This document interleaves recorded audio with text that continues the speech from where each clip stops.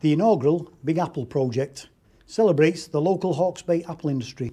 20 local artists have been selected to create 20 Big Apples for a public art project. I thought it'd be a great idea to go around and shoot these awesome apples in their public spaces.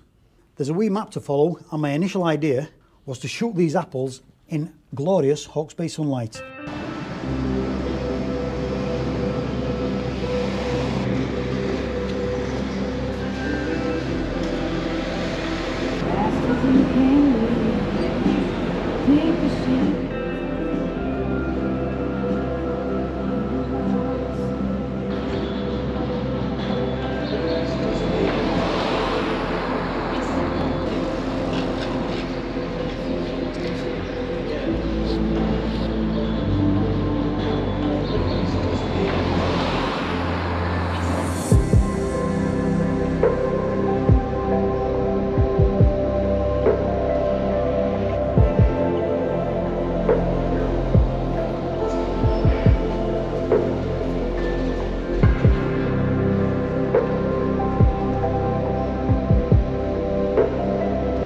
And then it turned to absolute shy. I mean, talk about wet. It is miserable, dark, dull, middle of the afternoon, and it's just pants. Absolutely pants. I could postpone this, reshoot it when the weather picks up, or we can adapt to survive and let's use the conditions to our favour.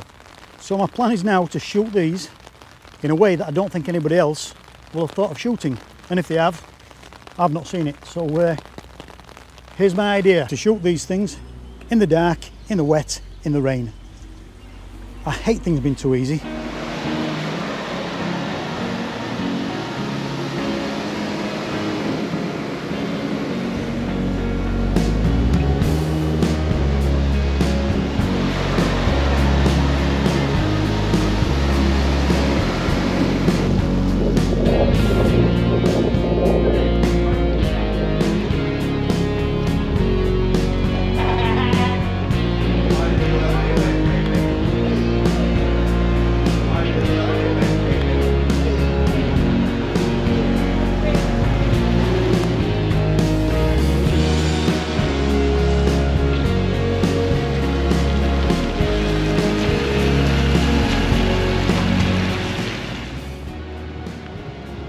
Are you okay?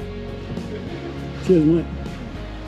Well, pretty cool, weren't they? I don't mind you and that's alright. They're pretty cool, aren't they? Are you, are you following around? No, we haven't. Okay. We've just been out for dinner actually.